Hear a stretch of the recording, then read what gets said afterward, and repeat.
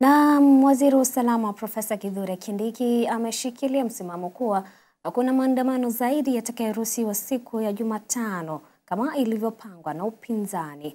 Aidha, Kindiki amesema kuwa vyombo vya usalama vimeagizwa kutekeleza sheria kudhibiti katika kukabiliana na wale wanaotishia kufanya nchi isitawaliki kwa ghasia na uporaji.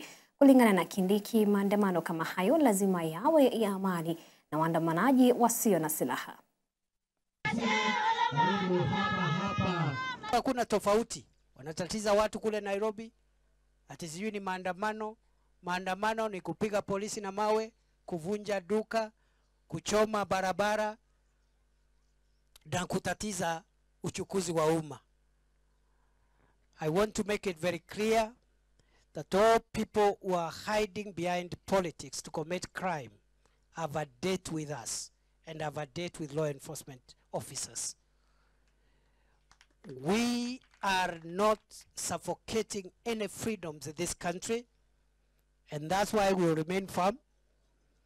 I hear they have again threatened that they will want to go out on a looting spree on Wednesday. We are ready for them. We will deploy from 1 a.m. We will make sure that no hooligan, no criminal, no looter gets his way.